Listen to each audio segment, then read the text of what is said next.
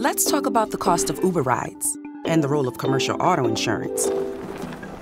States require it, fares pay for it, and its impact on Uber fares is growing.